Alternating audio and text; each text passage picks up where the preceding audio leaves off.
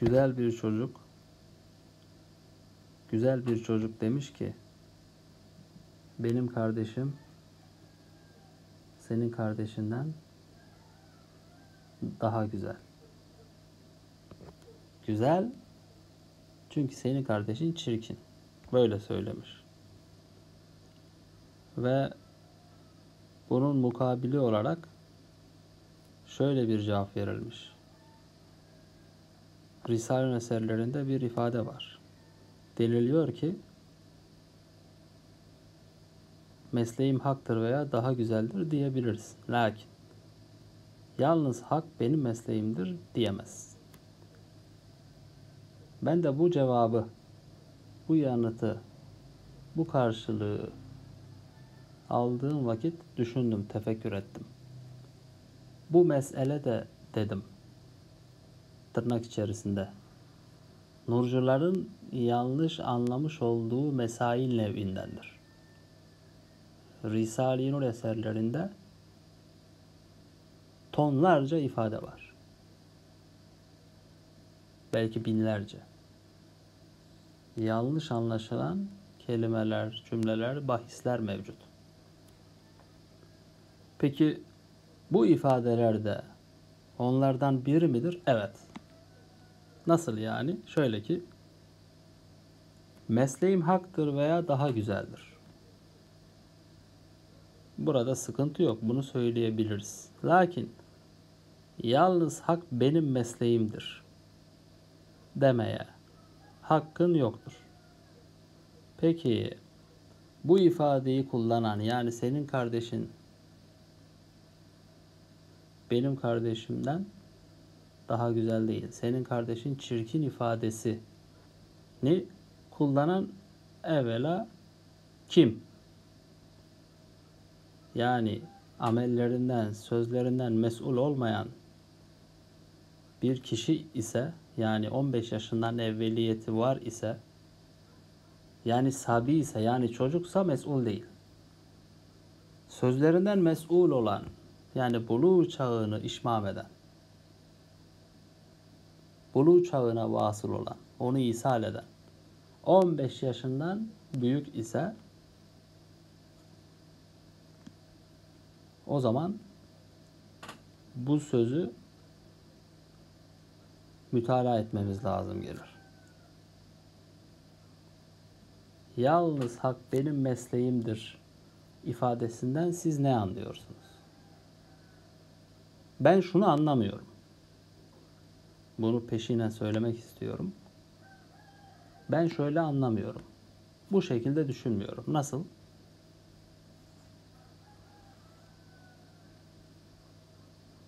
Benim muhatabım eğer mümin değilse diyelim ki gayrimüslim bir insan ile ben mülaki oluyorum. Ve onun mesleği İslamiyet'in elbette ki ruhuna, kutsiyetine, mahremiyetine, izzetine, şerefine taban tabana zıt. Öyle değil mi? Mesela putperest bir kemalistin, münafık bir fetoşistin, Allah'ı kabul etmeyen bir komünistin mesleği senin dinine, senin inancına göre ters o. Yanlış, mugayyer, muhalif, battal öyle değil mi? O zaman biz ne diyoruz? Mesleğim haktır veya daha güzeldir. Tamam. İkinci ifade nedir? Yalnız hak benim mesleğimdir. Diyebilir. Hani diyemezdi? Diyemez çünkü mümine. Muhatabı müminse.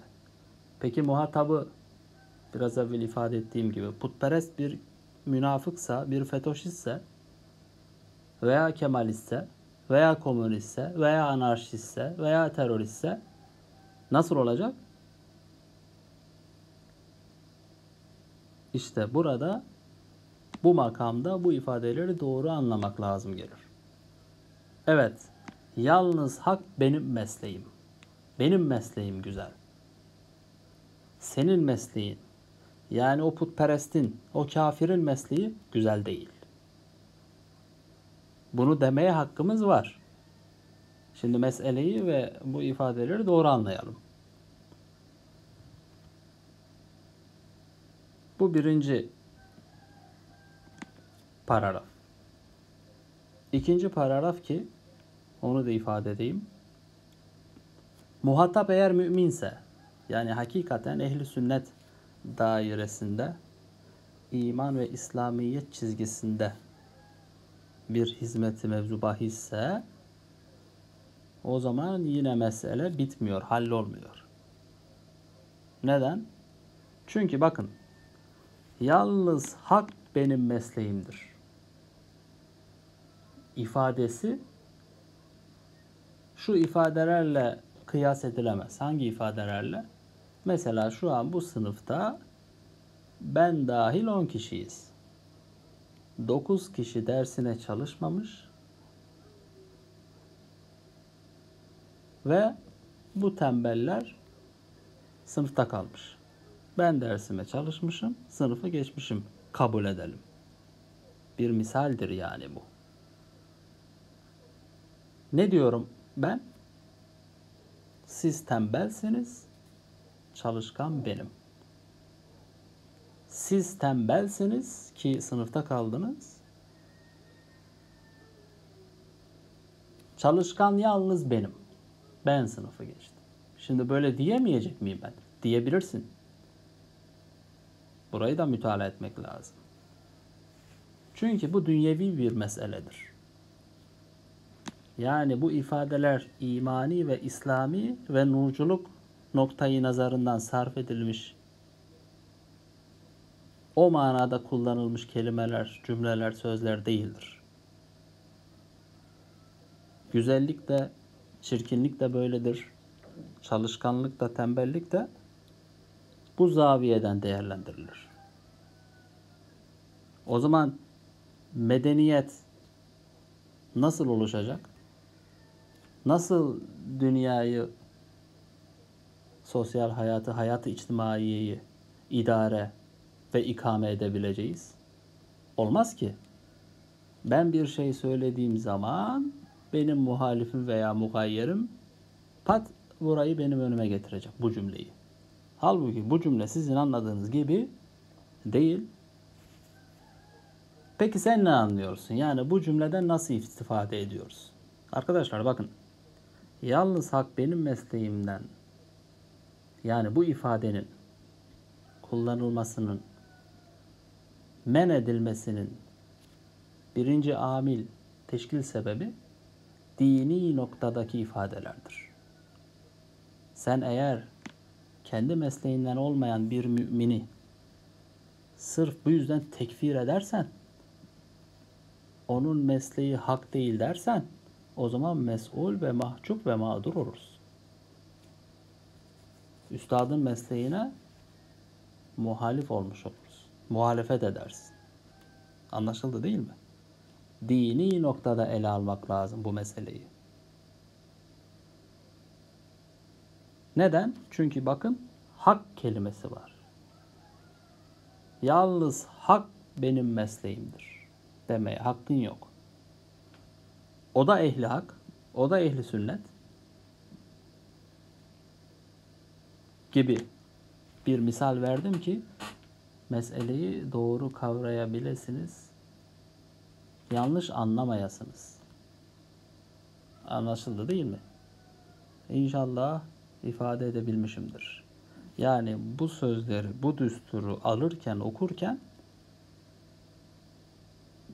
dünyevi ve maddi meseleler aklınızda canlanmasın. Manevi, nazari ve imani meseleleri tahattür edin.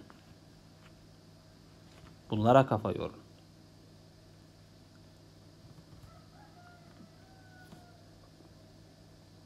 Zaten benim kardeşim daha güzel, senin kardeşin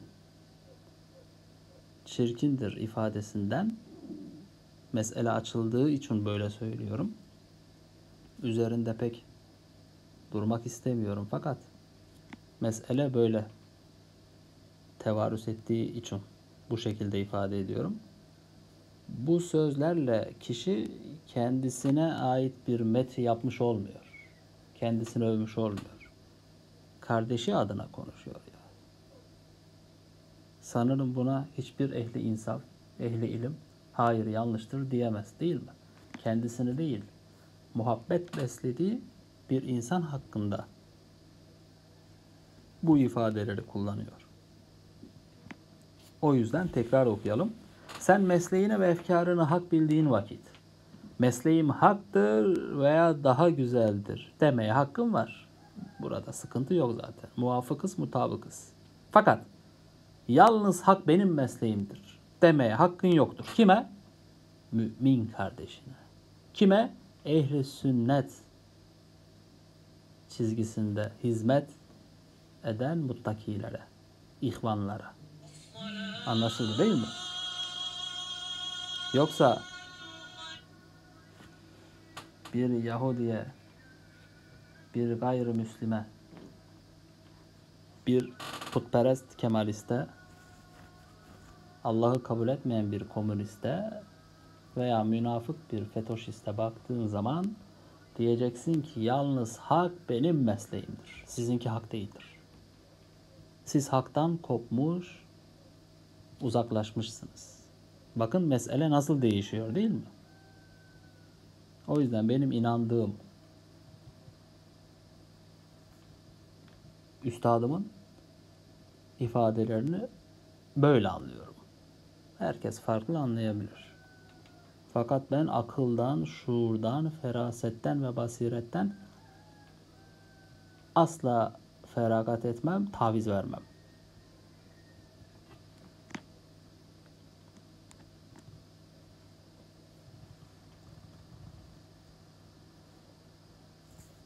Bu düstur ehemmiyetli fakat bundan daha ehemmiyetli düsturlar da var. Bu ifadeleri tamamlayan. Buna benzer fakat biraz daha tafsilatlı. Hani nasıl diyelim? 2-3 satır değil de 10-15 satır hatta yarım hatta bir sayfaya yakın buna benzer birkaç yanlış hatırlamıyorsam düstur var. Oraları da okuruz. Oraları da mütalaa ederiz inşallah. Benim ifade etmek istediğim mana budur. Doğru anlayalım. Yalnız hak benim mesleğimdir. Demek olmuyor ki sen falan insanı çirkin görüp filan kişiyi de tembel kabul ettiğin zaman bu meselenin burada üstadın yasakladığı ifade ile alakası yok yani. Elbette ki çirkinler, tembeller yok mu? Var. Peki bunları ifade etmeyecek miyiz? Edeceksin. Fakat bu 22. mektup Risalesinin konusunu da mevzusunu da idrak edeceksin. Bakın ne diyor? Müminlerde biraz evvel ifade ettiğim şekilde. Müminlerde nifak ve şikak, kin ve adabete sebebiyet veren bir ifadedir. Aşağıdaki ifade. Peki mümin bir kardeşin mi? Bir Yahudi, bir putperest, bir fetoşist, bir komünist. Değil değil mi? O zaman bu kelimeyi kullanmakta bir beyiz, bir sakınca yok. Bu birinci yorum.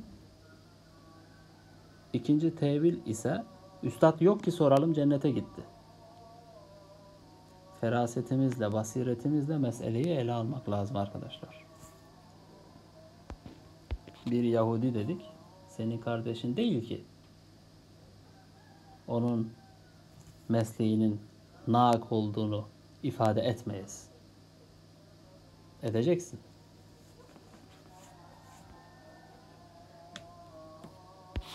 İkinci yorum arkadaşlar. Hak değildir.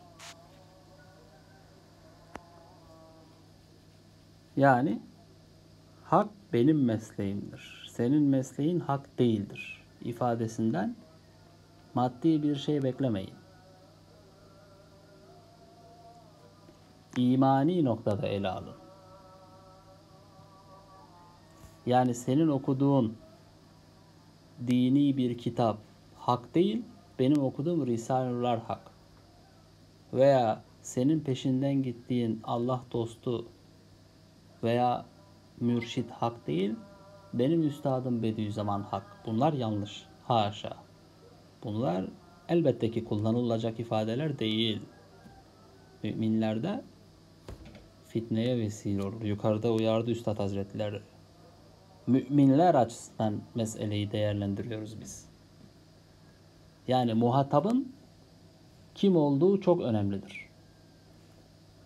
Muhataba göre bu ifadeler kullanılır veya kullanılmaz. Anlaşıldı değil mi? Yoksa siz bu düsturu yani mesleğim haktır veya daha güzeldir dersin. Yalnız hak benim mesleğimdir diyemezsin. Olduğu gibi kabul edersen yani karşına kim çıkarsa çıksın bu düsturu olduğu gibi alırsan hata edersin. Çünkü karşına çıkan herkes mümin olmayabilir. Öyle değil mi? Mümin olmayanların da mesleği var. O mesleğe de mi hak diyeceksin? Adamın mesleği şer üzerine kurulu. Aldatıyor, yalan, hile, dolan hepsi var. Haram üzerine kurulu bir mesleği olduğundan bu adamın mesleği batıldır diyebiliriz. Hiç kimse de gelip buradaki ifadeleri bana sebep olarak delil olarak göstermemeli.